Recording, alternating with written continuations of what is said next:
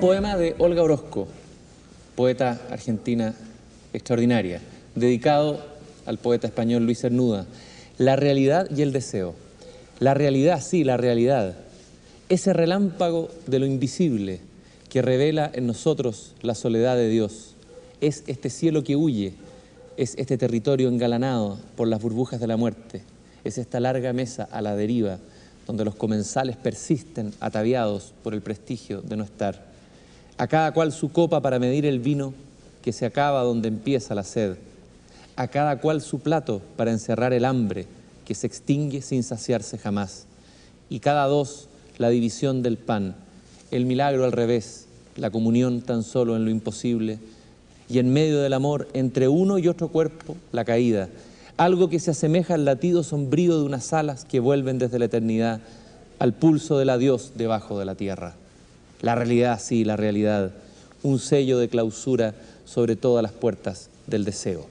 Dice Olga Orozco, y escogí este poema de Olga Orozco sobre la relación entre esa realidad como sello de clausura sobre las puertas del deseo para conversar sobre la realidad, los deseos, la pasión, la literatura. ¿Y quién mejor que para acompañarme en esta conversación para hablar sobre aquello es Rosa Montero, escritora española, novelista, ensayista y periodista, quien me acompaña hoy día. Gracias, Rosa, por estar aquí conmigo. gracias a ti, Cristian. Estoy encantada. Además, fíjate todos los libros míos que tienes ahí. me consta que te los has leído.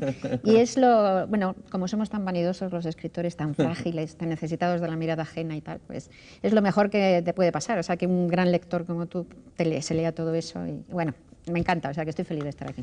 Eh, Rosa, tu último libro, La loca de la casa, de alguna manera eh, se sumerge en el misterio de la, escritura y de la creación. Y una de las características que tú acabas de dar de los escritores y los narradores es esa vanidad que a veces los hace ridículos a creadores maravillosos y al mismo tiempo esa fragilidad. Háblanos un poco de esa, de esa situación extraña del escritor en la Tierra. Eh, bueno, eh, la verdad es que todos los seres humanos somos vanidosos, ¿verdad? Pero yo creo que los, los eh, escritores, pues más que la media, quizá los actores también, más que, la, más que la media, quizás sea porque nuestro trabajo no es objetivable, ¿no?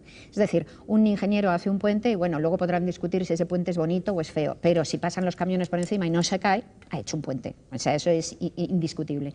Mientras que escribir una novela es una cosa tan rara, tan absurda, consiste, yo tardo tres o cuatro años en hacer una novela y consiste en meterte durante años en un rincón de tu casa en soledad a inventar mentiras puras mentiras, ¿no? personajes que no existen, que les pasan cosas que no existen. Y claro, durante todo ese tiempo, pues no te queda, eh, te queda la obligación de preguntarte de vez en cuando, de, cuando en cuando se te cae el mundo y dices, pero esta estupidez que estoy escribiendo tiene algún sentido, esto le servirá a alguien. ¿no? Y luego encima además no hay ninguna regla objetiva que te permita medir si eso está bien o mal, porque ni el haber tenido premios o no haberlos tenido, ni haber vendido muchos libros ni no haberlos vendido, ni yo qué sé, ni haber sido editado en siete países o en ninguno, pues dice nada la historia nos enseña que eso no dice nada con respecto a cómo se va a ver ese libro al cabo de unos años. ¿no? Así que estamos todo el rato con esa duda de, decir, de decirte, ¿estoy haciendo algo que tiene algún sentido, que merece la pena, o estoy haciendo una estupidez palmaria? Porque hay novelas que son completamente idiotas, evidentemente. ¿no? Y por eso necesitas todo el rato de la mirada del otro, ¿no? y estás buscando todo el rato que te digan pero si te metes mucho en eso, te conviertes en un imbécil.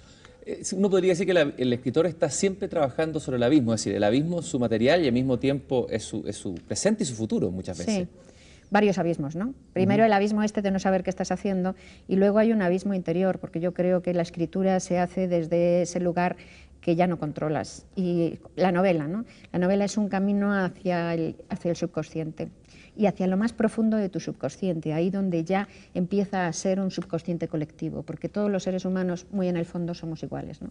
Entonces eso es un abismo. Tú, el, camino de la escritura, el camino de la obra es un camino de, libertad. Tienes que ir conquistando poquito a poco cada vez más libertad, libertad de la presión del entorno, de, lo que quiere el mercado, de tu propia vanidad para que te lean, y luego libertad del control que todos ejercemos sobre nuestras vidas, queremos ejercer el control. Somos tan ilusos que creemos que podemos ejercer el control cuando, cuando la vida es caótica y completamente descontrolada. ¿no? Entonces, ir liberándote de eso, dejar tu, tu, consciente para que emerja tu subconsciente, da miedo, porque no sabes qué va a salir ahí. ¿no? O sea que... Yo te partí leyendo un poema de Olga Orozco sobre, sobre la realidad, la realidad y el deseo. Ella usa ese verso de Luis Cernuda.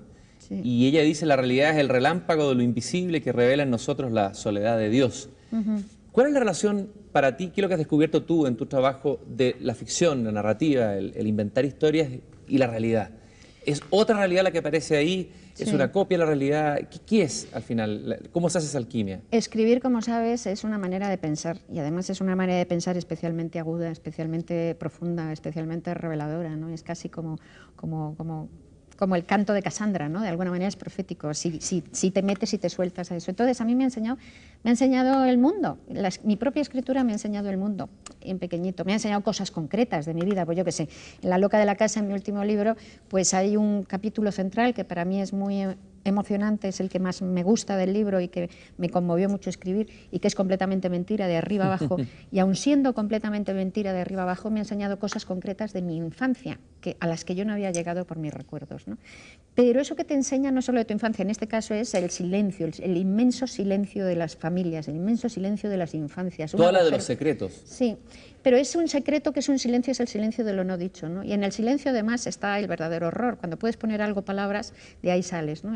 y el agujero de silencio que hay en toda familia, no es solo en mi caso, en mi, mi historia personal. Yo creo que es algo, lo que decíamos antes, tocas algo que empieza a ser ya una historia colectiva. ¿no? Y ahí es cuando empiezan a funcionar los libros.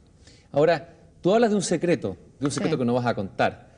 Eh, eh, eh, ¿qué es? ¿Un secreto de infancia? ¿Es, o, todos nosotros, cada uno de los seres humanos, tenemos un secreto que nos llevamos a la tumba finalmente? ¿Qué es como lo inexpugnable? Sí, exacto. Tenemos muchos secretos que no son secretos propiamente dichos, porque lo que son, es enigmas. ¿no? Tenemos, la vida es un enigma, es un misterio enorme, es un misterio que nos, que nos abruma y que nos embelesa, pero que nos abruma también, que nos aterroriza. Es decir, todo lo que no sabemos.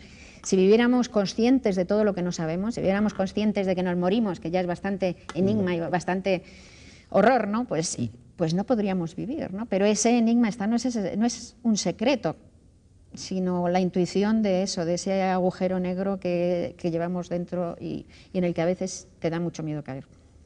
Tú escoges esta magnífica metáfora de Santa Teresa de, Jesús, tu antepasada española, nuestra, antepasada. nuestra antepasada. La imaginación es la loca de la, casa. Qué bonita frase. Y esa frase de alguna manera es el hilo central de este libro. Quizás es, es quizás la definición más perfecta de cuál es la relación, digamos, de cuáles son las zonas que habita un escritor. Habla un poco de, por qué la imaginación es la loca de la casa. Fíjate que no solo yo creo que es un escritor. En primer lugar, yo creo que la imaginación es algo que es, una de las características básicas del ser humano. ¿eh? Entonces, eh, creo que todos los seres humanos somos criaturas fabuladoras, fundamentalmente fabuladoras. Y gracias a la imaginación podemos sobrevivir porque si no, mm, el mundo sería un estruendo sin sentido, caótico, confuso. Con la imaginación creamos un cierto orden a nuestras vidas, le damos como un sentido, ¿no? las hacemos entendibles, habitables. Es decir, eh, el relato que tú te haces de tu, de tu infancia, el relato que mm. tú te haces de tu historia, en realidad es un cuento, es un cuento que tú te has cosido, que has inventado. Tan es así que no sé si tendrás hermanos, yo tengo un hermano mayor, cinco años mayor que yo, y a mm. veces cambio cromos con él, de, de relatos de nuestra infancia, de cosas que nos han pasado a los dos. Mm. Y te aseguro, Cristian, que los padres de mi hermano no son mis padres, porque no tienen nada que ver, o sea, porque él se ha inventado otra infancia. ¿no? Bueno, entonces, eh, el libro cuenta sobre todo eso, habla sobre todo de esa imaginación que nos construye, que nos permite soportar, como te digo, el estruendo de la vida o, o convertirlo en algo asumible. ¿no? Pero claro, si habla de la imaginación creadora y constructiva, tiene que hablar también de la imaginación destructiva y caótica, mm. que es la locura. Porque esa imaginación creativa y constructiva limita con la locura, que es la imaginación eh, sin domar, digamos, y que verdaderamente, como decíamos antes, el agujero que llevamos dentro. Yo creo que no hay una sola persona en el mundo que no haya tenido alguna vez miedo a la locura, porque la llevamos dentro de nosotros. Así que eh, mejor hay que aprender a convivir con ella, hay que aprender a convivir con esa frontera interior. Y la, creatividad está muy cerca. Yo creo que quizá los, los artistas, dicho sea con minúsculas, ¿no? pero quizá los artistas somos gentes que estamos más en esa frontera, más cerca de esa frontera y que, que nos permitimos mirar más hacia el lugar oscuro. Por eso quizás ha habido casos de escritores que están tan cerca de esa frontera que en algún momento la sobrepasan. Y es cuando la loca de la casa se apodera de toda la casa. Ahí está, es el delirio. Claro, la diferencia entre lo que llamamos loco, ¿no? Eh, lo que llamamos loco, pues eh, el loco psiquiatrizado, pues es aquel aquella persona que no puede controlar su propia fantasía, digamos, y que pierde el contacto con los demás. Es como si hablara un lenguaje que nadie más habla, no hay mm. manera de comunicarse, se rompe la comunicación y es una incapacidad para controlar su propia vida. ¿no? Y, además es un sufrimiento, el sufrimiento psíquico debe ser de los mayores que hay en el mm. mundo. ¿no? Pero bueno, fuera de eso... ¿Cuál sería el caso o el arquetipo en literatura de, de, aquel que no supo controlar esa locura que, que a otro escritor le podría haber servido material? Bueno, hay muchos, pero Rambo, por ejemplo, que estábamos hablando hace un momento de, él, pues Rambo era un, poeta que, para el que la escritura eh, le volvía aún más loco, porque yo creo que en general los escritores tenemos una sensación bastante nítida de que escribir y que nos lean, porque es un círculo de comunicación, ¿no? Tienes que escribir, no basta con escribir, si escribes y no te leen te vuelves loco, ¿no? O sea, tienes que escribir y que te lean, que eso te une con el, pues eso, te une con el entorno, ¿no?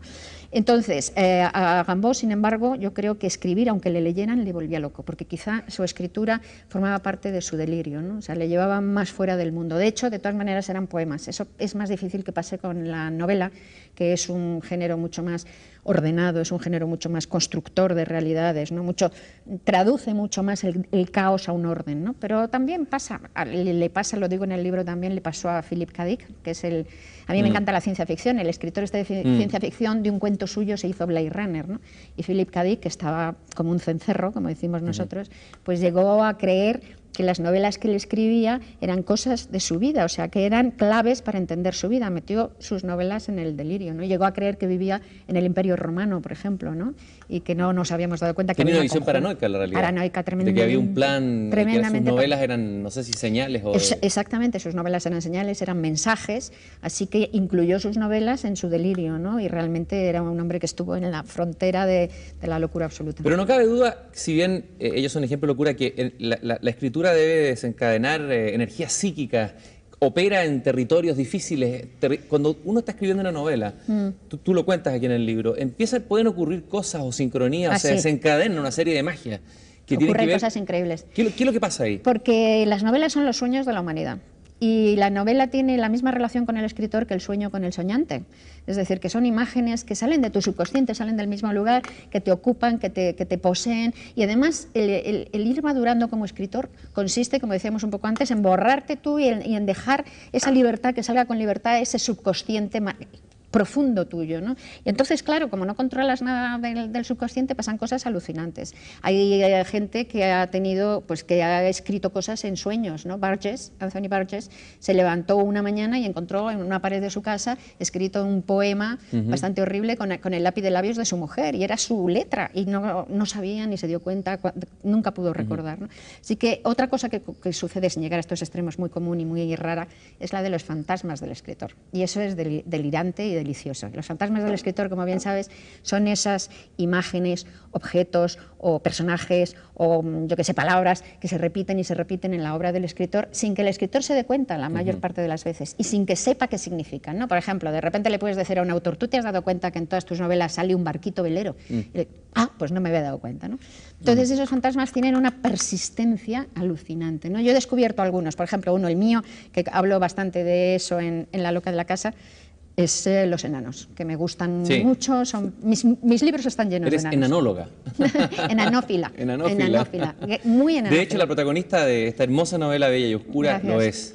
Claro, me di cuenta justamente de eso, de que mis libros estaban llenos de enanos después de esta novela, que es mi sexta novela, en la que, claro, la protagonista es de enana, y dije, pero, pero bueno, otra vez, si tengo montones de enanos, además son enanos, son liliputienses perfectos, no son para nada, no los uso como, como, como figuras grotescas, sino que son enanos que yo me siento muy conmovida, muy identificada con ellos, y que además son enanos que tienen, que cuentan cuentos, que cuentan historias, que tienen saberes extraños, no sé por qué, no sé muy bien qué significa eso, ¿no? Pero hay una enana alemana que te impresionó, creo que fue en la ciudad de Colonia, mientras estabas viendo la televisión, viste una imagen y lo cuentas aquí. Eso lo cuento la... ¿Quién es esa enana alemana? Sí, bueno, pues después de todos esos años y de ver cómo me, impresionaban los enanos, pues empiezas a pensar, ¿y por qué será y tal? Y la verdad es que no llegué, no llegué a ninguna conclusión, pero de repente era tres años o así, o dos años y medio, estaba en Colonia en un festival de literatura, aburridísima en la habitación, mirando la tele, zapeando, porque todo era en alemán y no es alemán. Y de repente vi en una cadena, en una cadena estatal, un documental maravilloso de yo pensé que era, colegí que era, eh, los circos en la época de los circos alemanes en la época del Tercer Reich Y entonces salían unas imágenes increíbles, filmaciones, fotos pues de mujeres barbudas, de forzudos, de todo eso. y, entre ellas salía mucha, mucho documental, mucho material de una enanita liliputiense que debía ser muy famosa, que llevaba un pelo rubio teñido, con las cejitas negras, con diademitas, perfecta liliputiense, perfecta, con trajecitos de cuyer, estos así, que, estirados y tal. Y de repente cuando salió y la vi, es que se me cayó la mandíbula al suelo porque dije, si soy yo. Me reconocí, porque yo tengo unas fotos de mi infancia, tengo fotos de niña normal, normalmente, pero en una época de mi infancia, como con cuatro años o así, tengo una serie de fotos rarísima, espantosa, en la que nunca me he reconocido y que fue una época que coincidió con un... A mi madre le dio por teñirme el pelo de rubia y yo he sido morena toda la vida. Y entonces tengo una cara es, la de la portada es esa, y tengo una cara como de, como de nana. De repente me di cuenta que es que tenía cara de nana, es decir, de saber mucho más de lo que hubiera debido saber en, aquellos, en aquella edad. Una cara un poco como la niña del exorcista es, parece que va a darle vueltas a la cabeza. Y entonces dije, pero si soy yo, y es que era exacta esa, esa nana liputiense. Intenté buscar el documental, luego con amigos que trabajan en, en, la, en la, televisión alemana no lo pude encontrar.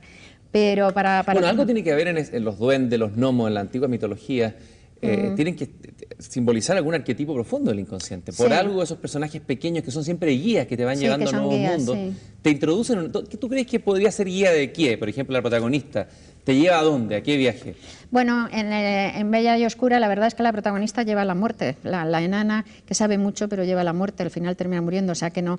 Pero, pero es un poco como, como, como, no sé, quizá para mí son una representación de una vida más profunda, de una vida distinta de la vida. Y yo creo después de esta cosa de colonia y tal, que es un poco como la vida, la vida infantil, la vida imaginaria. No hay que matar al niño que llevamos dentro, esa es la cuestión. Yo creo que hay, de niños todos venimos al mundo con una capacidad fabuladora, mm. con la capacidad como los búhos de dar la vuelta a la cabeza a 360 grados y ver el mundo en todas sus... Y luego el proceso de educación, de socialización, consiste en ponernos las orejeras de la determinada cultura en la que vivamos y vivir, y vivir solo a través de eso, ¿no? y cortar todas esas fantasías.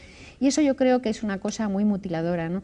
Por fortuna, a los novelistas se nos permite seguir siendo un poco niños, seguir siendo fabuladores, seguir teniendo esa mirada múltiple. ¿no? Y yo creo que eso es lo que es el enano, es la representación de ese niño que no es un niño, de ese adulto que no es un adulto. ¿no? Y quizá personalmente en mi caso es que de pequeña yo creo que era muy muy, muy, muy mayor, muy mm. responsable. En los mitos esos familiares infantiles que dicen, el niño era muy listo y muy valiente. Bueno, pues yo era responsable, buena, no lloraba mm. nunca, me explicaban todo. Así que yo creo que nunca fui una niña y por eso ahora no soy una adulta. ahora llevo a la enana esa dentro de mí viva y que dure muchos años. Tú dices algo a propósito de la creación de las facultades del escritor y que a veces la razón puede volverse un, arma o un elemento en contra de la creación del escritor. Y me, vino a la memoria una frase famosa de Hölderlin, el poeta alemán, que dice algo así como en la novela Hiperión, el hombre es un dios cuando sueña y un mendigo cuando reflexiona. Pensé en eso. Preciosa frase. Te la voy a, a también, para lo que no es que me parece perfecta. Sí, claro, cuando sueñas eres mucho más grande. Los sueños, los sueños de la humanidad son los que han construido la humanidad y las reflexiones han ido detrás sacando la lengua, ¿no? Y siempre perdiendo el paso. Eh, nuestros sueños nos hacen más grandes y nos permiten aspirar a una vida mucho mayor. Nos permiten, por ejemplo, eh, soportar una vida sin sentido. La grandeza del ser humano es que yo creo que el mundo es un caos y es un estruendo ensordecedor y no tiene ningún sentido y no tiene ningún futuro y sin embargo el, ser humano vive la vida como si lo tuviera. Esos son los sueños. ¿Tú compartes acaso esa afirmación de un personaje de Shakespeare que dice que la, vida es un cuento contado por un idiota? Ay, completamente, claro. Esa es una mm. frase maravillosa, sí. ¿Sí? Sí, sí. ¿Tú la ves así, abismal, oscura? Sí. sí, la vida es un cuento contado por un idiota, pero queda la otra parte Queda la otra parte que te digo, que es la de la grandeza, y a pesar de eso, a pesar de eso, pues soñamos que es un, maravilloso cuento contado, escrito por un poeta. Y por algún lado tú dices que la vida es como una gelatina, no sé si me equivoco, que por ahí lo leí. Sí, no, más bien yo creo que la, palabra gelatina, no, dices que, me parece que, que eso lo empleo diciendo que es un, que a veces te sientes como si eh, la literatura, la escritura, fuera un esqueleto exógeno. ¿no? Las palabras, lo que yo escribo, siempre digo que soy una escritora orgánica porque necesito escribir para vivir. Es decir, que para mí es como beber agua, como respirar. Eh, me recuerdo desde siempre, desde que me recuerdo como persona escribo. O sea, yo escribía desde los cinco años, cosa que es bastante común. Muchísimos escritores hemos empezado a escribir de niños, cuentecitos para niños y tal. Pero vamos, desde que me recuerdo escribo y es mi manera de vivir, mi manera de estar frente al mundo. Entonces, sin eso, creo que me quedaría como una especie de molusco, ¿entiendes? es, como mi esqueleto exógeno, ¿no? Y si me quitaran ese esqueleto, tengo la sensación de que me quedaría como una gelatina pegada al suelo, informe, sí. Al comienzo del libro La loca de la casa, en uno de los primeros capítulos, tú hablas de que eh, si uno analiza la biografía de ciertos escritores, se da cuenta que muchos de ellos tuvieron una infancia feliz o idílica y de repente hay un rompimiento y, quizás hay una búsqueda de paraíso. ¿Qué, descubriste tú en la vida de los? Eh, bueno, es una de las teorías que tengo de por qué te dedicas, por qué uno se dedica a escribir, porque ya, digo que es una cosa tan absurda, ¿no? Meterte ahí a inventar mentiras. Entonces, una de las teorías que tengo es que a mí me gusta mucho leer biografías, ¿no? De autores y tal. Y entonces he visto que muchos, y pregunto a amigos y tal, entonces muchos escritores novelistas han tenido no ya una infancia feliz, sino más bien sería que eh, habría que decir que en un momento relativamente temprano de su existencia, pongamos antes de los 12, de los 13 años, han tenido una pérdida calamitosa, violenta, brutal de, de lo anterior. Han tenido una una, un encuentro muy temprano con la mm. decadencia, con una decadencia tajante y brutal. ¿no? Entonces, a veces estas, estos encuentros con la decadencia pues son obviamente mensurables, vistos desde fuera, pues yo que sea, Conrad, eh, su padre que era nacionalista polaco, le deportaron los rusos y, y antes de que Conrad cumpliera 11 años, en, en, el, en, la Siberia, bueno, no era Siberia, pero en fin, en los hielos donde estaban deportados, se murieron mm. de las penurias y de tuberculosis el padre y la madre. Fíjate qué pérdida de la vida anterior. ¿no? Mm. Y en otras, en otras ocasiones esa pérdida, esa decadencia, ese tajo brutal, pues no, es, no está escrito en las, en, las biografías oficiales, es más bien interior, ¿no? es psicológico, pero eso no quita que sea también brutal. ¿no? Entonces, yo creo que yo también tengo uno así de los psicológicos, no, no de los exteriores, pero entonces yo creo que eso haría que escribiéramos en un intento de recuperar lo perdido, en un intento de rehacer esa cosa, ese mundo que, se perdió para siempre y que en la distancia y en la pérdida sí que lo conviertes en un paraíso, aunque el paraíso nunca existió de alguna manera. ¿no? Solamente el paraíso solo existe cuando lo pierdes. ¿Y esa fisura tuya la puedes contar? ¿Es contable? No. Sí, la puedo contar, pero no quiero, claro. ¿No te interesa? ¿No, tiene ningún, interés? No, no, no es que no tenga ningún interés, tiene mucho interés para mí, forma parte de lo privado. Entonces, son cosas que yo creo lo, lo, íntimo es justamente íntimo, lo más íntimo hay que tenerlo. Yo soy muy respetuoso de eso. hay una imagen que me gusta mucho de, de tu libro y, compartimos una experiencia. Yo hace un tiempo fui al sur, cerca de Punta Arenas, en un viaje en un Zodiac, nos metimos en una isla y vimos aparecer una serie de ballenas y, asistí a, esa contemplación única de ver emergir una ballena del fondo del mar. Y tú usas la imagen de la ballena eh, eh, como, como o, lo que te pasó ahí, podrías contar eso, ¿qué te pasó ahí? ¿Y cómo, eso, cómo tú ves en la ballena quizás la imagen de lo tú que... Tú sabes que es que me he dado cuenta, ese, eso de la ballena, la ballena, después de escribir este libro me he dado cuenta que la ballena es otro de mis fantasmas, como los enanos, porque tengo varias ballenas y me he dado cuenta después de esto. En Bella y Oscura hay una escena de una ballena que es una escena brutal, que además yo no la he vivido ni... ni ¿Puedes contarla, recordarla? La de la ballena esa es que esa es horrible. No importa. No, pues es una ballena a la que... Eh, a la que eh, arponean y la llevan a un puerto que no en donde normalmente no se veían ballenas. Y entonces la arponean la llevan al puerto y la atan eh, al muelle no con todos los arpones clavados y la atan ahí. Y va todo el pueblo los niños los padres llevan a los niños a ver a la ballena porque no habían visto una ballena. La ballena está ahí agonizando porque además es un animal tan grande que los arpones no, no llegan están quedan en la capa superior no entonces queda agonizando pues días y días y días y días hasta que muere. Y van ahí los niños a festejar y a ver cómo, cómo está la ballena agonizando sin darse cuenta de ese dolor y de ese horror. Esa es la escena de Bella y Oscura. Y, de todas las novelas que he escrito en mi vida, y, todo esto lo, contempla, lo cuenta la enana, y contempla esa agonía la enana y luego la cuenta. Bueno, de todas las novelas que he escrito en mi vida, nunca he escrito un solo párrafo llorando como en esa escena. Es la única escena que he escrito en todas mis novelas llorando a lágrima viva. Y, cada vez que tenía que revisarla y rehacerla y, recorregir las galeradas lloraba lágrima viva. Entonces, para mí es una escena que me ha contado otra gente que la han leído que es insoportable, que es casi... Que es y un paréntesis antes de volver a la ballena. Y generalmente, si no lloras cuando estás escribiendo, ¿tienes la sensación de que estás bailando? Porque tú cuentas ahí, comparas la escritura con, un baile, con un vals. Sí. Llorar, es, lo que pasa llorar es muy ¿eh? Llorar, eh, vamos, ya te digo que llevo años y años escribiendo y esta es la única vez que he llorado. Y además no creo que sea bueno. En general, desde luego, si escribes así como en plan diarista, cosas tuyas mm. personales y lloras, no creo que hagas buena la literatura. ¿no? Esto te digo que es que lloraba pues por de horror y no tenía nada que ver con mi vida personal, pero con la simbólica supongo que mucho. ¿no? Pero sí, y si no lloras, bueno, cuando las cosas van bien, reluces. Es deslumbrante. O sea, eh, escribir en un momento de, gracia es, es una enajenación feliz, es como si de repente la literatura, la, tu palabra, como si escribieras mejor de lo que sabes escribir. Como decíamos antes que los sueños agrandan al ser humano, pues es como si cuando estás en un momento de gracia pues es como si escribieras mucho mejor de lo que sabes escribir. Estás escribiendo cosas que nunca creíste que llegaras a saber, que llegaras a rozar. ¿no? Entonces es como si las palabras te llevaran, te arrastraran efectivamente en una especie de baile, ¿no? de baile de sentimientos, de sensaciones, de emociones. Y, tienes miedo de dar un traspiés y, y, pisar una palabra y caerte y mm. dejar que eso se acabe. Y si tienes suerte, pues das otra vuelta y otra vuelta y otra vuelta hasta que efectivamente pisas la palabra y se acaba. Pero de las palabras, tú dices que las palabras eh, es peligroso a veces atraparlas o domesticarlas porque al domesticarlas mueren. ¿Cómo, ¿Cómo es el juego ese con la palabra? Sí, bueno, la, palabra tiene que ser siempre una palabra libre, una palabra real y una palabra sincera, una palabra necesaria. Entonces, yo tiendo, no me gusta, por ejemplo, una cosa que detesto es el estilo musical tintineante. ¿no? Estos escritores muy barrocos que ponen 17 mm. adjetivos, porque les suena, porque no me gusta nada. Yo no soy de ese estilo, me gusta la literatura sustancial eh, que quiere que cada palabra ocupe un lugar en el mundo, que, que cada adjetivo tiene que ser absolutamente mm. necesario. ¿no? Entonces, me gusta que se, estén todos todas las, las, frases talladas como diamantes, que no quede ni una, ni una impureza. ¿no? Y, y, bueno, las palabras domesticadas son las palabras falsas, ¿no? o los tópicos, los tópicos, qué, qué increíble. Bueno, y la retórica, en el La retórica, sí, sí. Y eso es completamente terrorífico. Volviendo a la ballena, ¿por, qué, ¿por qué, la ballena emergiendo? Que, que, quizá uno de los espectáculos más impresionantes, ver una ballena emerger al lado es Verdad, eso es verdad, ¿Por qué eso, eso lo comparas ¿Cómo te ocurrió? Y, Sí, bueno, para mí la ballena, de repente le digo que me he dado cuenta que es un fantasma y que debe ser, para mí, debe ser como la representación de la vida, del poder de la vida, de la vida bella. Mira, lo primero es que a mí me encantan los animales, ¿no?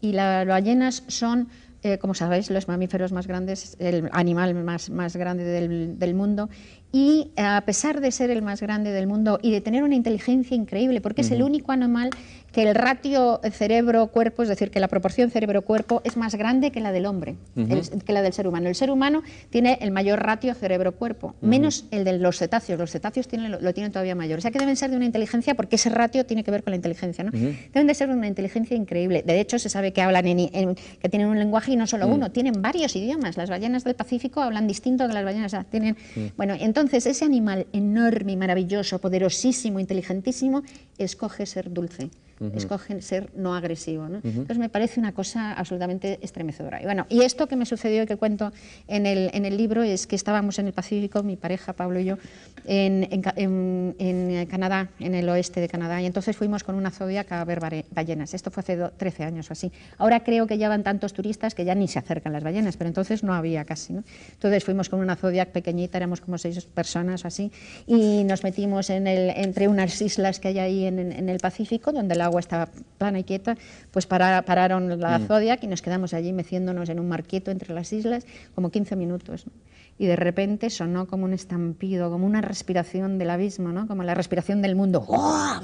Que era ¿Y, eso es el momento cuando se escribe, cuando, es cuando emerge desde lo profundo algo y se... Exacto, ese es, el, no, ese es el momento en donde se ve la palabra. Luego escribirla es mm. pillarla, es atraparla y ahí es cuando ya se te ha ido. ¿no? Esa, esa, esa visión de la ballena es como la visión de la obra eh, completas la visión de la idea y luego mm. se te escapa. ¿no? Entonces ese, ese estallido que era el chorro y entonces luego empezó, empezó a emerger la ballena al lado, porque son mm. animales curiosos y tú has estado mm como, como inteligentes que mm. son, son curiosos y quieren mirar a ver qué era. Bueno, ahora que hay tantos turistas mm. lo va, pero antes, entonces salió, de verdad sin exagerar, como, como a tres metros como mucho o algo así, empieza a salir la ballena. Impresionante, es impresionante, era ese muro gomoso, esa mm. cosa gigantesca, que no te puedes hacer idea del animal entero. Y luego pasa un ojo, pasa un ojo en redondo, un ojo así de grande. El y ojo emite un sonido que uno nunca ha escuchado, que no está registrado quizás en nuestro oído. Pero que reconoces de alguna manera, que es como un sonido alienígena, pero tú sabes que es un sonido inteligente, hay algo ahí, es, un, es es fantástico, ¿no? Luego pasó todo, levantó la cola y se metió y no movió todo ese tonelaje, no movió ni un rizo de agua, ¿no? Es el, sobrecogimiento de lo enorme y de lo bello y de lo que nunca llegas a ver entero. Además. Estaba pensando que, justamente la ballena es la imagen central de esta magnífica novela de, Melville, que es Moby. Y Melville fue un hombre atormentado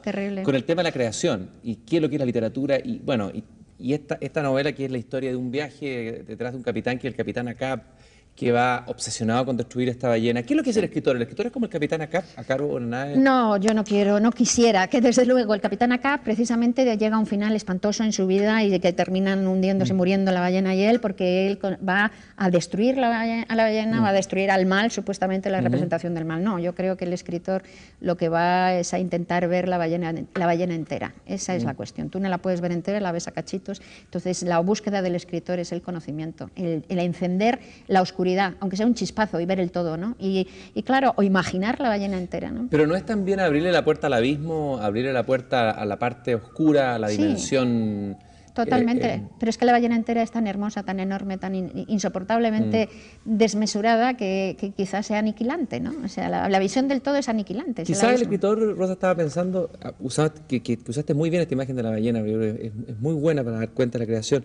Es, el, finalmente el narrador, el personaje que al final dice y, sobre, y sobreviví para contarlo. Sí. Quizás el escritor sea eso, el que sobrevive para contar. Sí, efectivamente, está muy bien, es muy bonito. Tú hablas de un monje irlandés, justamente un tipo que sobrevive a una peste, lo citas acá en ah, tu sí, libro. Sí, sí, el monje, sí. La, gran peste, la gran peste de 1348, que es la peste bubónica, la gran peste que, bueno, no diezmó, sino mucho más, eh, dejó la población de Europa reducida a la mitad, ¿no? O, más. O sea, de repente, pues, Florencia decía, en un año, en un año se murió entre un tercio y dos tercios de la población de Europa, dependiendo de los países, ¿no? En un solo año. Entonces, pues se hundió, fue un colapso de, de, la, de todo, de la historia, un colapso de mm. la sociedad, pues no mm. había gente para, para, enterrar a los muertos mm. siquiera. Entonces hay un monje irlandés de un, de, un, de un, pueblecito irlandés que está con su comunidad y que va enterrando a todos. Con aparte de que la peste bubónica era espantosa, salían unas bubas con unos dolores horribles, enloquecían, bueno, bueno, espanto, ¿no? apestaban y tal. Entonces este pobre monje va enterrando a todos y escribe un manuscrito en donde cuenta toda la historia y dice de lo que ha pasado, cuenta todos, todos los datos de la peste, de los pueblos del Lauda. Es una de las, de las fuentes por las que conocemos lo que fue la, es mm. la gran peste, que ha sido la pandemia mayor de la historia mm. de la humanidad conocida en la historia histórica, pues es este, este trabajo de este monje. Y al final deja espacio y dice, bueno, dejo pergamino por si, por si la, estirpe de Adán no, no, no se mm. acaba con esto, porque era el fin del mundo. Todo el mundo creía que era el fin del mundo. Y si puede seguir alguien contando y dando testimonio de esto. Y efectivamente otra mano anota que el monje mm. se muere también de la peste, pero la estirpe de Adán no se acaba y siguen dando testimonio. ¿no? La escritura contra el abismo, la escritura contra la oscuridad final. ¿no? O sea, la voz del ser humano, ese, ese intento, como te, mm. decía antes, de hablar ese intento de, soñar, ese intento de creer que las cosas tienen un sentido, de creer que hay una continuidad, a pesar de que nos espera la muerte a todos. A pesar mm. de eso, creemos en esa continuidad, que es el hilo cultural, lo que nos pasamos unos a otros, ¿no? de padres a hijos. ¿no? es, eso es muy hermoso y eso es lo que el ser humano es. Bueno, tú dices por ahí que el escritor, o, narrar o escribir, es es prácticamente, no sé si pelear o combatir con la muerte o estar permanentemente en conversación con la muerte. Sí, en conversación, más bien en pelea, más bien en negación. ¿no? Yo mm. creo que eh, escribir tiene mucho que ver con la pasión amorosa en ese sentido, ¿no? porque yo es lo único que he encontrado parangonable a la pasión amorosa eh, porque es muy alienante, igual que cuando estás enamorado apasionadamente estás alienado por la imagen del amado, pues cuando estás escribiendo una novela estás alienado por, por la, la, idea de la novela. Mm. Y cuando estás enamorado apasionadamente también estás tan lleno de vida, estás tan fuera de ti, que realmente la muerte no existe. Yo creo que esta es una experiencia muy básica que todos hemos vivido alguna vez. Te sientes tan lleno de vida que la muerte no existe. Y cuando estás escribiendo una novela, te sientes tan lleno de vida, de las otras vidas que estás inventando, mm. que tu muerte no existe, eres eterno mientras escribes. ¿no? Entonces, no es ya llegar a un acuerdo ni, ni, pelear, es ignorarla, es borrarla, ¿no? es nuevamente vivir como si la muerte no existiera. Eh, tú dices por ahí que la muerte, eso no lo sabía yo, es una gran lectora. eso, es bueno saberlo. Eso es muy gracioso, sí. Eso no lo digo yo, se lo oí decir a, una escritora argentina en el Salón de Iberoamericano de Gijón. Y además lo contó también, fue en una actuación directa, lo contó ah. también, fue tan graciosa. Graciela Cabal se llama. Es una escritora de cuentos de niños, sobre todo y tal. Y tiene un, par de libros muy curiosos. Pero bueno, lo que fue genial es que contaba, decía que, bueno, que, mientras, que mientras lees no mueres y que, bueno, que su padre, por ejemplo, que le había pasado a su padre, que su padre estaba muriéndose muy, muy anciano y muy, muy malo y muy enfermo, y venía el médico y decía, eh, de hoy no pasa y tal. Y él decía, no, que va, que me voy a morir, si me falta todavía la mitad del otoño del patriarca. y cuando se marchaba el médico le decía a las hijas, tráeme otro libro más gordo que estoy a punto de acabarlo, ¿no? porque, porque mientras le faltara algo por leer, decía, y decía Graciela, claro, porque la muerte es lectora y es curiosa y le pasa como a mí cuando voy en el colectivo, en el autobús, ¿no? que se, veo que alguien va leyendo, me inclino, me pongo a leer y claro, me distraigo. no, voy, no voy entonces a cumplir mi deber. Tú, tú hablas de que el, escritor, acabas de decir, el escritor tiene esa capacidad, del fondo, de salirse de sí mismo. Sí. Y pareciera que, bueno, en eh, la literatura hay toda una discusión. Algunos dicen que la literatura es una introspección, un viaje al interior de los propios abismos, una, un sumergirse en el subconsciente. Pero tú rescatas esa capacidad de, meterse en la vida de otro, sobre todo la del novelista. Sí, Y, citas a un portugués, no me acuerdo cuál es, pero un portugués que le habla de los y sí. Ah, sí, que, que, el novelista en el fondo es el, es el, artista de los y sí. ¿Qué son los ICI, Las otras realidades, las otras múltiples realidades que podemos vivir, que tenemos cada día, las otras representaciones de nosotros mismos, los otros relatos de nosotros mismos. De hecho, eh, lo que decíamos al principio, ¿no? Tú lo que recuerdas hoy de tu pasado, pues no es lo que recordarás dentro de 20 años. ¿no? O sea que los ICI es algo que haces todo el rato, el escritor hace todo el rato esto, ¿no? De repente, pues yo qué sé, estás en una cola de un banco esperando a que te toque mm. la ventanilla y entra una señora mayor, esto lo cuento en, en, eh, la, loca de la casa, entra una anciana de 80 años con un niño de 10, ¿no? Y se pone a la cola. Entonces tú le miras y de repente se sale solo y dice, ¿y si vinieran a atracar el banco? Y si resulta que si hubieran muerto en un accidente los padres del niño y se hubiera quedado sola la abuela con el nieto, y entonces para sobrevivir tienen que hacer este tipo de cosas. Y si cuando ahora llegaran al, al, cajero sacaran algún arma de estos doméstico, como por ejemplo un fumigador de pulgones con, veneno ¿no? de jardín, y dijeran, deme todos los euros o le, le, lleno de, de, este, de, este, veneno. Bueno, entonces así vas construyendo toda una vida en el tiempo que tardas en llegar a, a la ventanilla una vida, la vida de la vieja, la vida del niño, sabes dónde viven, te vives ahí. En ese tiempo que estás en esa cola, te has vivido en una vida tumultuosa, en un montón de cosas. Llegas a la ventanilla, te dan tus euros, o sacas el cheque, te marchas y se acabó. Normalmente en, la mayor parte de las veces esos ISIS no pasan al papel nunca. O sea, un, un, escritor escribe todo el rato en la cabeza y mm. muchas de las cosas que escribes no llegan nunca al papel. O sea, porque escribir en realidad es esa especie de mm. ruido de run run creativo, mm. toda esa... Es una curiosidad infinita. Es una curiosidad infinita y es, un, y es una esquizofrenia grande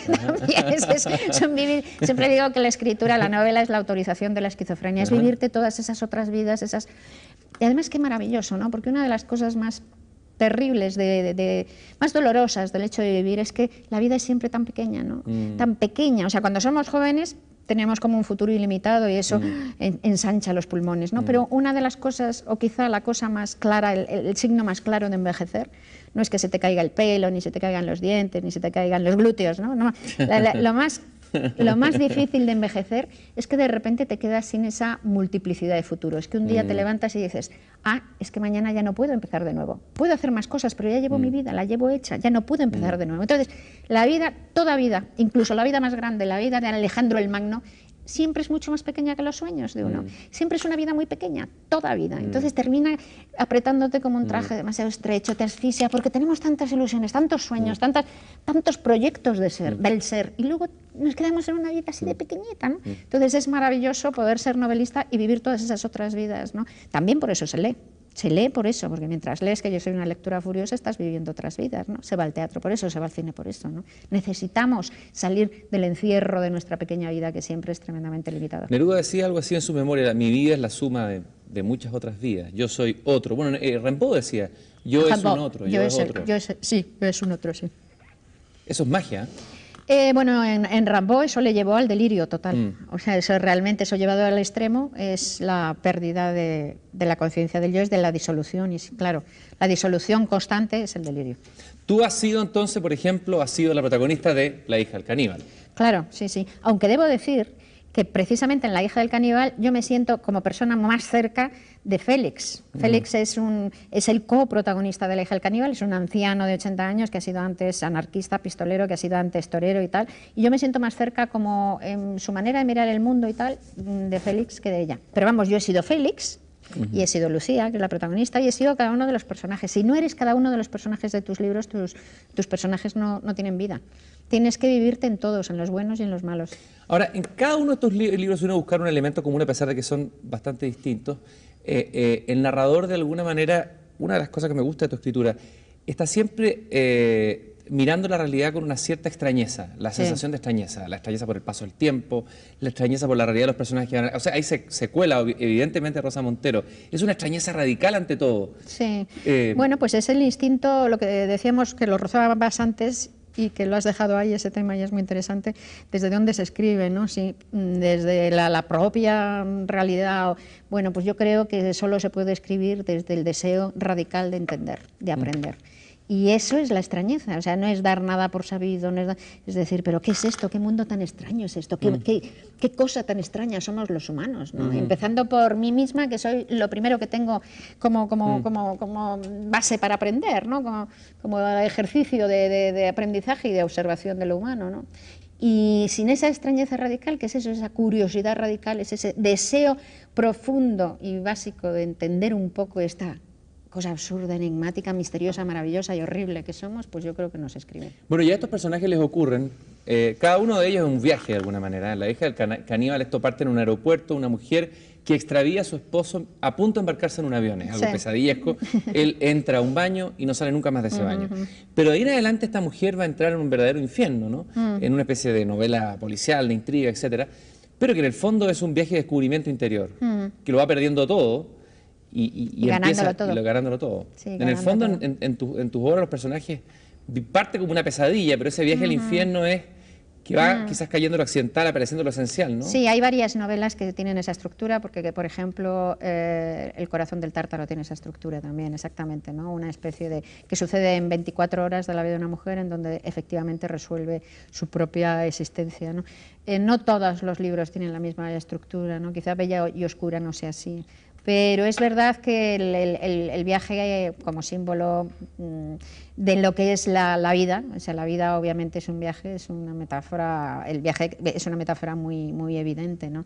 ¿Y de qué escribimos, de qué se escribe en el siglo XX, ya en el siglo XXI? ¿Pero qué es la escritura del siglo, qué es la novelística del siglo XX y XXI? Pues sobre todo una, una novelística existencial, ¿no? del sentido de la existencia, si es que tiene, si es que tiene alguno, ¿no? O sea, que, y de, del porqué de las cosas, ¿no? Entonces, en ese sentido, pues las metáforas del viaje pues son muy comunes y muy... ¿Y cuál es el porqué que más te quema tu corazón? Así? De todos los porqués, Rosa, ¿cuál es el porqué que más te... uno tiene muchos porqués, ¿por qué esto? ¿Por qué se Hay dos esenciales, ¿no? Hay uno que no sé cuál, no sé cuál tiene más importancia, cuál me obsesiona más de los, de, los dos. Eh, en fin, eh, desde luego porque nos morimos, obviamente, o sea, porque la muerte, ese es, ese es, el, ese es el motor de lo humano. Y el otro, porque, porque el horror. Para mí los dos son igual. ¿Por qué el horror? Que también son las dos grandes preguntas de, la humanidad, ¿no? ¿Por qué la muerte y por qué el mal? El sentido del mal. Las religiones han intentado explicarse desde el principio de los tiempos. Son los, los dos grandes, las dos grandes preguntas son estas, ¿no? ¿Por qué morimos? ¿Por qué el horror? ¿Por qué la crueldad? ¿Por qué el mal? ¿no? En tus novelas aparecen personajes excesivos, bueno, están los enanos, la escena de la ballena, eh, personajes caricaturescos en el buen sentido, eh, radicales en un cierto sentido. Hay hay algo quizás de una cierta tradición, de, una cierta narrativa española, como que en España hay una tradición muy fuerte en ese sentido. ¿Qué sé yo? Pienso en Ramón mm. del Valle Inclán.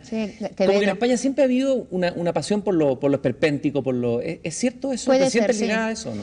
Pues mira, yo la verdad es que eh, en mi época más así, más consciente de, de educación literaria, pues los 10, 11, 12, 14, hasta los, hasta los 20 años, pues no leí casi literatura española, porque además era una época en donde los, los, eh, los lectores españoles casi no leíamos autores españoles. Yo me considero en ese sentido mucho más hija del boom latinoamericano, han sido muchos más mis maestros en una época muy formativa.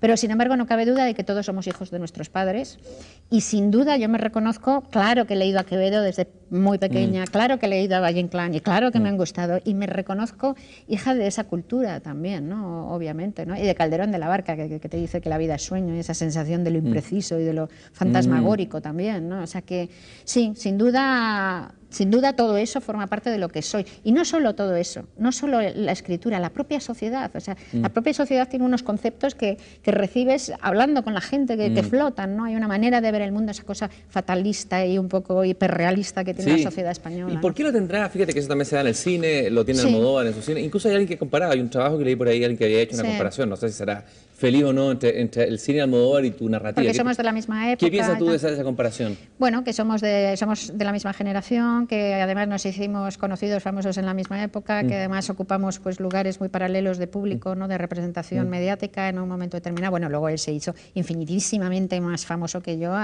sin niveles comparables, ¿no? Pero digo, durante todo y luego, pues ha habido, no, yo creo que no tiene mucho, mucho que ver nuestra, mm. nuestra obra, verdaderamente, ¿no? O sea, que yo creo que la de él es mucho más descoyuntada en muchísimos sentidos. Yo creo que no tiene, y sobre todo la última, yo creo que ya es completamente mm. ajena. Pero, pero bueno, tenemos un sustrato cultural común, que hay gente que lo ha visto así, ¿no? O sea, que ese sustrato está, ¿no? El sustrato de ¿Por qué será? Pues no lo sé. Pues no sé, porque hemos sido un pueblo muy pobre, porque hemos sido un pueblo, eh, porque viene de Castilla, que es un mm. país, que es un lugar en donde hay un sol de justicia, unas sombras, no hay, no hay brumas, no hay, no hay nada, es una vida como en blanco y negro, pues es mm. hiperrealista, es un, no sé, no, no sabría decirte, es muy difícil, ¿no? ¿Dónde nace el el, imaginario de un pueblo, ¿no? Cómo se mm. construye a lo largo de tantos siglos, además mm. con tantas influencias de mm. todo. Los árabes nos han dado, los 800 años de, nos han dado algo de también, no sabría decirte, es muy difícil, ¿no? Tú cuentas un cuento maravilloso en tu libro, eh, que creo que lo sacas, ya, se, me, se, me, cruzó, creo que de Marguerite Yourcenar que es la historia de un príncipe. Y que ese cuento quizás resume muy bien esta relación entre la ficción y la realidad. Quizás podrías contarme de nuevo ese cuento. Sí, no me acuerdo del nombre de... Es un cuento precioso eh, del libro Cuentos Orientales de Margaret Yourcenar. Entonces es la historia de Li Piao, me parece que es, que es un eh, pintor maravilloso. Entonces Li Piao, de repente llega el, el, emperador y manda a unos soldados a que tomen preso a Li Piao y se lo lleven al al, Palacio Imperial. Entonces, efectivamente, le toman preso a Lipiao y a su mm, ayudante, mm. a su asistente, y se lo llevan. Entonces, el, emperador le dice, Lipiao, eres un viejo mentiroso, eres mm. un viejo desgraciado, yo me he criado en este, en este palacio sin salir, he estado encerrado hasta que, hasta que fui nombrado emperador, en sustitución de mi padre, el emperador, y entonces me he criado sin salir a la calle, pero viendo tus cuadros maravillosos, y, yo creía que el mundo era esa maravilla que tú, que tú contabas. Cuando salí a la calle me di cuenta que ni los cielos eran tan bellos, ni, la, ni los campos eran tan bellos, entonces no existe ese mundo más que en tu cabeza, me has engañado y como castigo, eh, pues te ordeno, bueno, primero os voy a cortar la cabeza a los dos, y a ti, alipiado antes, te voy a cortar, te voy a sacar los ojos y te voy a cortar las manos. Entonces, el, el, ayudante intenta, intenta salvarle al maestro, esto, entonces le cortan la cabeza inmediatamente. Dice, pero antes de, cegarte y de cortarte las manos y luego cortarte el cuello, quiero que termines una obra que está sin terminar de tu juventud. Entonces le traen un cuadro de su juventud, que es un, que es un lago y, con un bosque, y entonces Lipiao allí en el Salón del Trono empieza a pintarlo, a terminarlo. Y mientras va pintando, el Salón del Trono empieza a llenarse de agua, ¿no? Y lo va pintando, entonces pinta una barca en el cuadro y ya el Salón del Trono está todo lleno de agua y los cortesanos están, mm.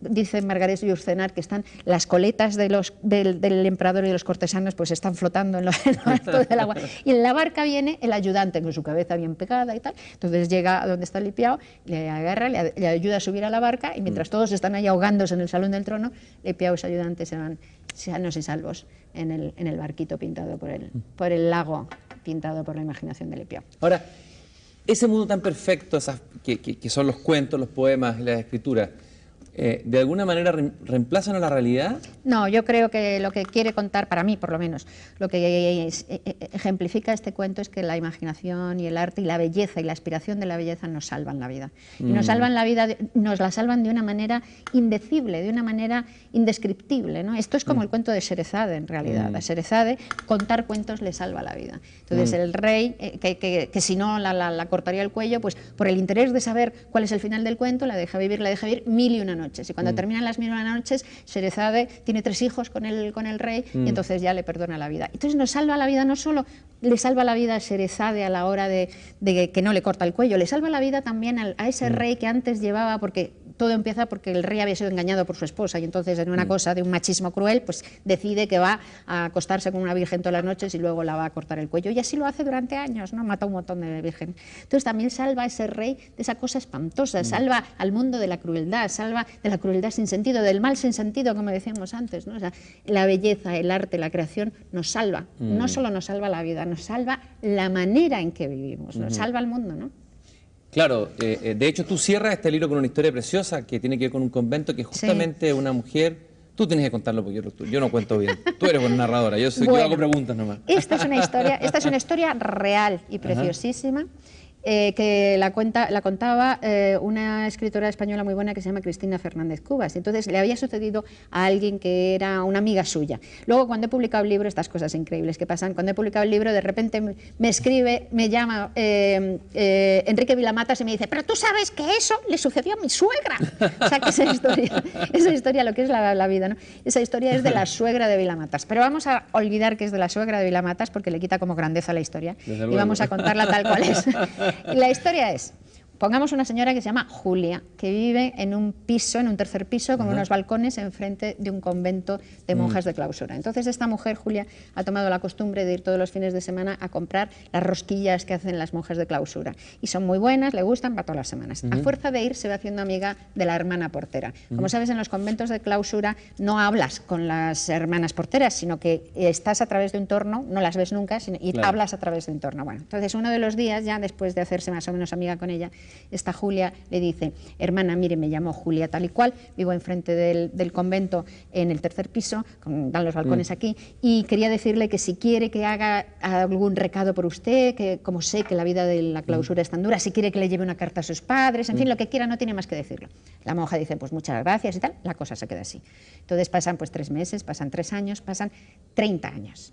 Entonces un día está Julia en su casa y ding dong suena la puerta, se va, abre y se encuentra a una viejecita, una monja, toda arrugadita, bajita, y ahí en la puerta y tal, y le dice, mire, soy la hermana portera, usted es Julia tal y cual, sí, sí, pues yo soy la hermana portera, y hace 30 años usted me dijo que si quería algo, si necesitaba algo del mundo exterior, que viniera a pedírselo, sí, claro, claro. Bueno, pues mire, lo que hoy quería pedirle es que me deje asomarme a su balcón. Entonces Julia, extrañada, la hace pasar, la lleva al balcón y se asoman y miran el convento. ¿no? Y están calladas unos minutos mirando y al final la monja dice, es hermoso, ¿verdad?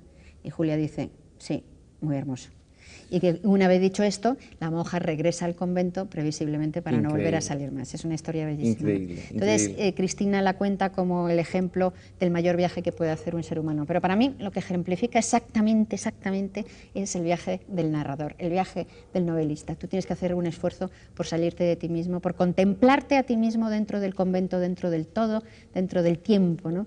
y, por tener esa visión, aunque sea un chispazo, que dure un instante mm. de la totalidad, que, que todo lo explica. ¿no? Y una vez que has, que has visto esto, pues si puedes, regresas a la celda individual y mm. te resignas a morir. ¿Y tú como la monja puedes decir, mirando desde arriba la realidad, es hermoso? Siempre. La visión, la visión del todo es hermosa, lo malo es que no se alcanza o solamente se, intuye, pero la visión del todo es la serenidad, es, la, es, es el entendimiento, es la sabiduría pura. La visión del todo tiene que ser hermosa. Lo que pasa es que no he llegado todavía a verlo, pero sé que tiene que ser hermosa. Rosa, yo te agradezco muchísimo. Tú eres la, una de las superioras del convento de la ficción, las mejores superioras del convento de la ficción. Tu libro, La loca de la casa, además es uno de los mejores ensayos de literatura que he leído mucho tiempo. Muchas gracias. Y invitamos a todos los que nos siguen a conseguir este magnífico ensayo ficción, porque es un libro lleno de trucos, de trampas, de, mentiras, de verdades. De alguna manera, Rosa nos hace no solamente entender el problema de la ficción, sino nos hace vivirlo. no voy a decir más porque hay una trampa que tiene que ser descubierta por quien no lo lea. Muchas gracias, Rosa, por haber estado aquí en esta conversación. Gracias a ti.